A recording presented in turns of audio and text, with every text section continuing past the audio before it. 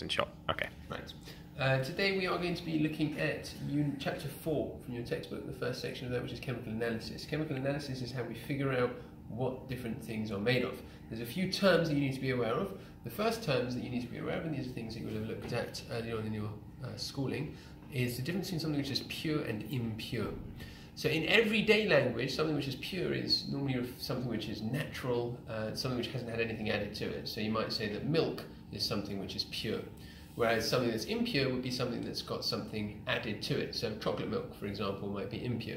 Similarly, you might say that um, water straight out of a tap is pure, but if you've added ribena uh, or some other squash to that, then you'd say that that's impure.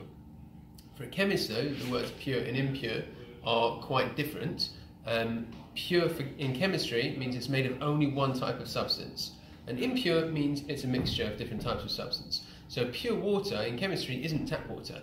Because in tap water, you've got all sorts of minerals. You've got calcium, you've got magnesium, you've got all sorts of minerals. They're good for you.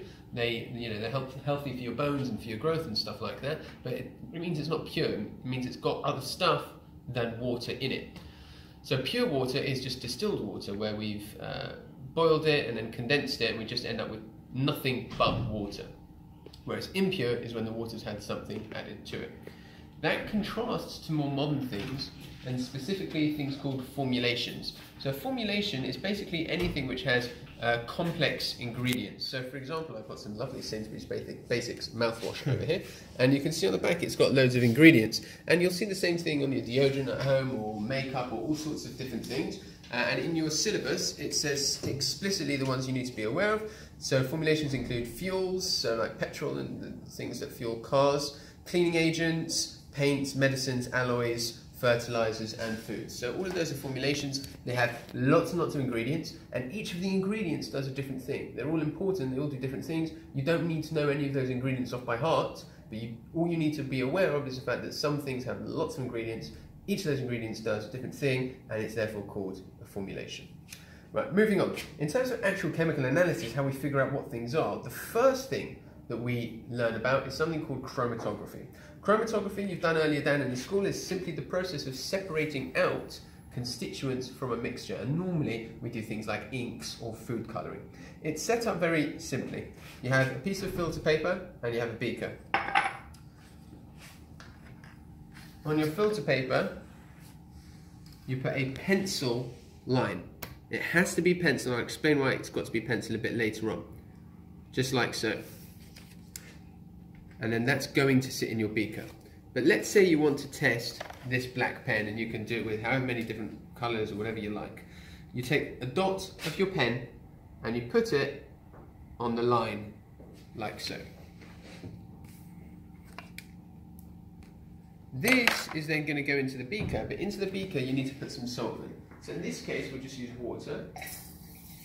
Water is the most common solvent for paper chromatography, but you also might see um, people using ethanol as a solvent.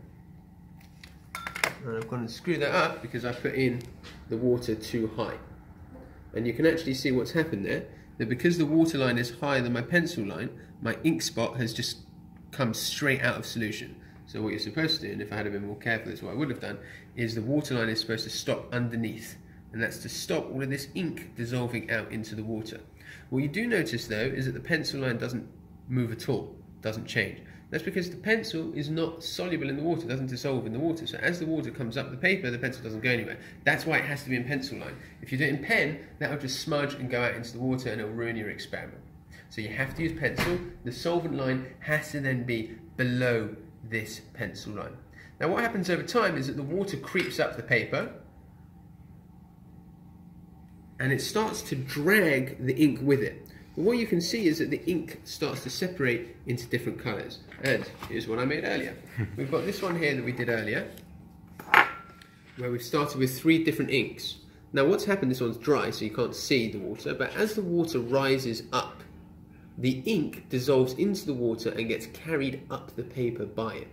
But what you can see is that each of these ink spots is made of different colours. So if we look at this one first, we can see that it's made of a blue and it's made of a purple. The blue is more soluble than the purple. It dissolves more readily than the purple, and that's why it travels further up. It likes to be in the water and it travels really easily with the water. Whereas the purple here doesn't dissolve as well in the water, so it travels more slowly. And if you look at this one, which I imagine was this a black one? Yeah, so the middle one was a black one. So it's got blues and it's got reds and it's got some greenish yellow. It's got another small spot there of what looks like a purplish colour and then blue up here. But what you can see is that this blue dissolves the easiest because it travels the furthest. Whereas down here at the bottom, I've got another smudge from what looks like another shade of blue and that's barely travelled at all. And here I've got yellows and reds and a bit of pink. Was this an orange pen? That was a brown one. A brown pen? Mm. Uh, what, a light brown? Yeah. Yeah, that makes sense. Yellows and oranges and reds, and you can see those colours split up there nicely. Now, what this means is that each of these ink spots was not a pure substance. It was an impure substance. It was a mixture of different colours. So this brown one was a mixture of yellows and reds, and this was this purple? Yeah. Uh, yes, that was a purple. And the purple one here was a mixture of a kind of a pink and a blue as well. And the black is a mixture of five or six different colours. So it's a really nice way to show that things are pure or impure.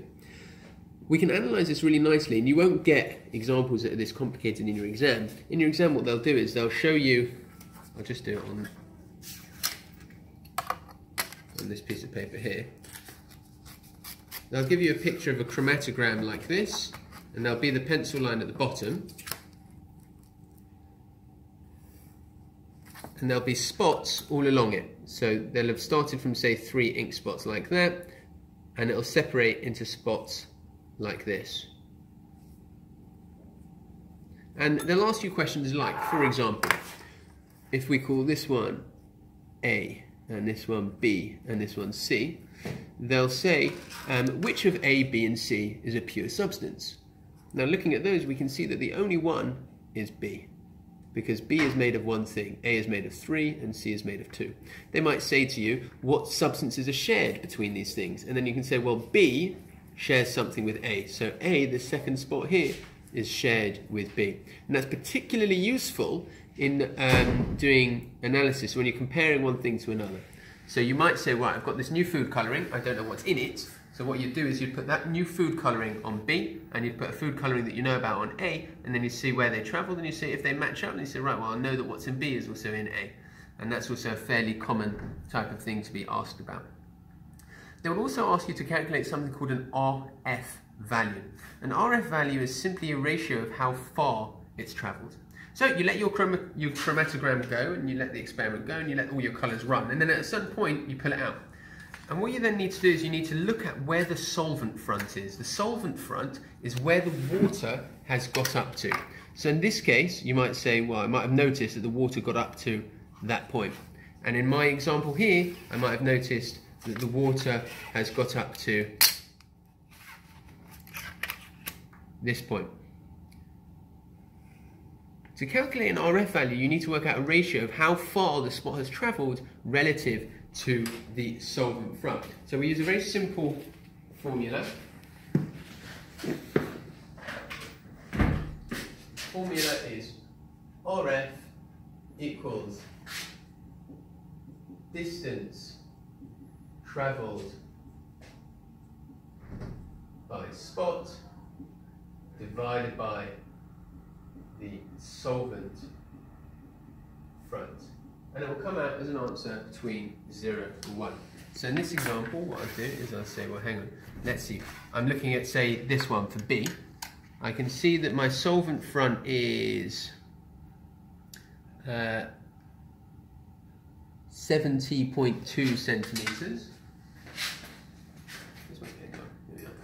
So in this case, I have not 70.2 centimetres, sorry, millimetres. So I've got 70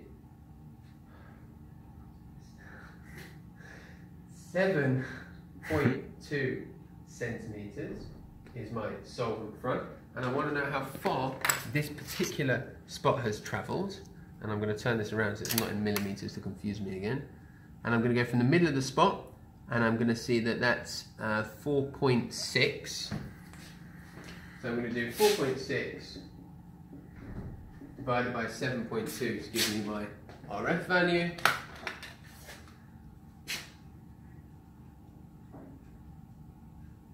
which comes out as 0.64. and that's my RF value. Then what I could do is I could say, right, well, I've worked out the RF value for my spot, and I know what the solvent was. What I can do is I can go into a big textbook, and I can say, well, if I want to know what my spot is, I can look at all the chemicals that have already been tested, find out what their RF value is, and look that up. So for example, if I think that that chemical is E100, a particular food colouring, what I'll do is I'll then go into the book and I'll see, well, what's the RF value for E100? And if it's 0.64, then I'm pretty confident that what I've got is E100. If in the book it tells me that E100 is 0.78, then I know that I'm talking about a different thing. So that's your RF value. So we've so far looked at pure and impure substances and then what a formulation is. And then chromatography is a way of separating out and figuring out if something is pure. Another way of figuring out if something is pure is by looking at its melting point or boiling point. Pure water has a very, very precise boiling point, 100 degrees. And if you've got pure distilled water, it's going to boil at 100 degrees. But impure water is going to have a range of boiling points. So it's going to boil between, say, 92 and 100 degrees. And the same applies for any other substance. If it's pure, it'll have a very specific, very sharp melting point or boiling point. Whereas if it's not a pure substance, it's an impure substance, it'll be a broad range. What they might do to you in the exam is they'll give you a table of substances and they'll say what the boiling points are in one column and they say, oh, this one's got a boiling point of between 23 and 28 degrees. Is it pure or impure? And then you know that it's impure. So that's one way to separate them out. We need to look at some gas tests now. And again, this is all part of chemical analysis. It's about finding out what we have in front of us. It's trying to establish what the chemical we have in front of us is. And there are four gases that we need to test for. We've got to test for hydrogen gas, which is H2. We need to test for oxygen gas, which is O2. For carbon dioxide, which is CO2, and for chlorine, which is Cl2. Now, we've generated a lot of these in advance to make life easier, but in an exam they might talk to you about the gas being generated and then how you test it. So we'll start with hydrogen, which Mr. Orr has prepared for us in a vial. Um, we're hoping that Fingers it's crossed. Sorry? Hopefully. Yeah, we're hoping that it's worked out. I'm just going to put my goggles on. If it doesn't, we'll just generate some more. It's fairly straightforward.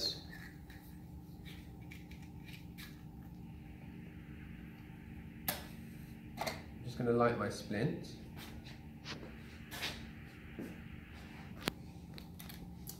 And with any luck, when I pop this in, we'll see a small chemical reaction. There we go. That worked very nicely. So what we've got there, I'm just going to get a mat for this. No problem.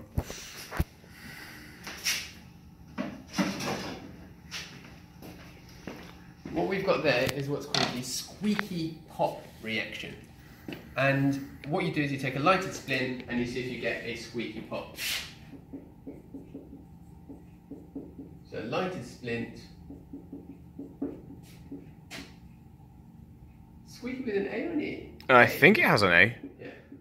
Squeaky pop. And that is the technical name for it, so you don't need to worry about it. As in using a word that looks like it's unscientific, that is the name for it. It's called the squeaky pop test. Now, normally in an exam, the reaction that you use to generate hydrogen is going to be metal plus an acid. So you'd use a metal plus an acid, and we've learned all about these, and you get your metal salt plus hydrogen. And you test, well, do I have hydrogen here? Okay, you use a li- lighted splint, do you get squeaky pop? Yes or no? All right, next up we've got oxygen. Okay. And let me get it all ready. To generate oxygen gas, we've got oxygen in the atmosphere all around us, but it's mixed up with loads of nitrogen as well. So only 20% of the air around us is oxygen. If we want to try and get more concentrated, or sorry, a greater volume of oxygen in the amount of space that we've got, we can use a chemical reaction involving hydrogen peroxide. And what we've got here is manganese, one of the manganese oxides. So this is manganese 4 oxide. And what I'm going to do is I'm just going to pour my peroxide in. and you'll be able to see a chemical reaction starting pretty soon. And there's a gas being given off, and then we take a glowing splint. So this is one that's just been blown out, and we pop that in and it lights again. Because what's happening is, when I blow it out, it's not colliding with enough oxygen. We looked at rates of reaction, it's not colliding with enough oxygen to stay lit. The reaction can't keep itself going. When I pop it in here, there's enough oxygen for the reaction to really get going again. And then I blow it out and start it again really nicely. So it's a really nice little chemical reaction there. And in the technical language that we use there, is oxygen relights a glowing split. And in reality, any reaction that you do with oxygen, so if I'm burning magnesium in oxygen, so you get a nice big bright white light. If you did that in pure oxygen, I, if I did that in the air just here, I'd get a nice bright white light. If I did that in pure oxygen, I'd get a massive white light. So again, in an exam, if they say to you the reaction is the reaction is done in an area where there is pure oxygen, you're expecting a much more vigorous reaction. Next up is carbon dioxide. Carbon dioxide, we have something called the lime water test. Right, we'll need one more boiling tube. Oh, we'll just use the hydrogen one. Okay. And what we're going to do is we're going to do a little chemical reaction that will generate some carbon dioxide. Now the standard reaction here is to use hydrochloric acid and a metal carbonate. When we studied acids, we learned about how that makes a metal salt, water, but it also makes carbon dioxide. I'm going to be careful because I've not measured things out properly, so I could get more gas than I've bargained for. And I'm just going to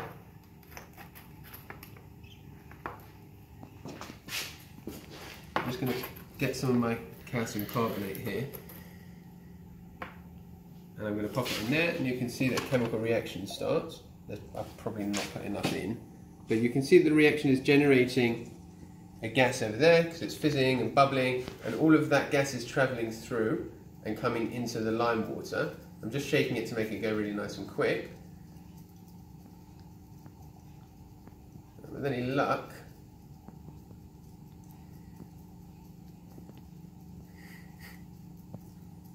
slowly getting there.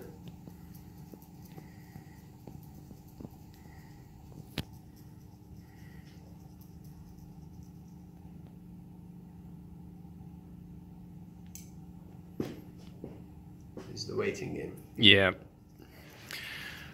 Probably because you've got air in the delivery tube. Yeah, it's got to force all of that air out first. And uh, it's slowly working. Oh, yeah, there we go. What's happening is you can see that the lime water is turning cloudy or milky. It's going very nice and white there. And what that is, is the carbon dioxide that's coming off of this reaction is reacting with the lime water. And it's making calcium carbonate, which is the chalk. And it's got tiny, tiny, tiny particles in there. And that's what's making it cloudy, because there's a solid in there now.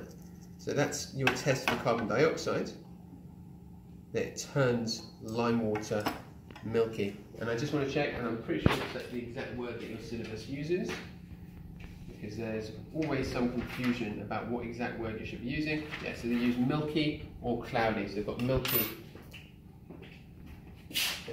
So it turns lime water milky. And then in your syllabus in brackets it says that's cloudy. It's really important that you remember the way that works because what a lot of students do in an exam is the question will be, well, how, test, you know, how do you know that carbon dioxide has been given off here or how do you test the gas? A lot of people say you'd add lime water. That's not what you do. You don't add lime water. You bubble the gas through the lime water. So you have some lime water and you get the gas to travel through the lime water and then if it goes milky, which is also called cloudy, then you know you've got carbon dioxide present, but otherwise you don't. All right. The final test that we're going to do is for the presence of chlorine. We'll just use the blue litmus. Yeah, I wasn't sure which one you'd needed, so. Litmus should be fine.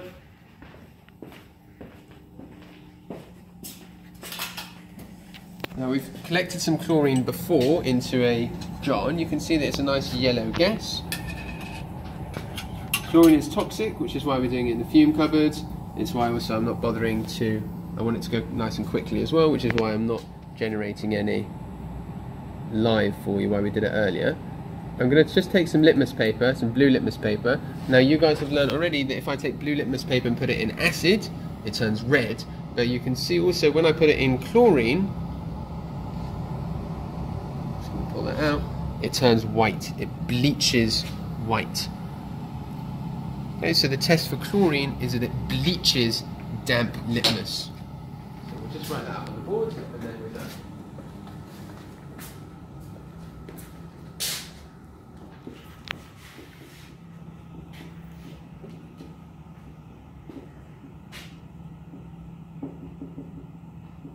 And that word bleaches means turns white. Okay, so you take the litmus paper, uh, yeah, so you take the damp litmus paper, you put it in, and it turns it nice and white. And that's how you know that you've got your chlorine. Thanks very much, that's a lot.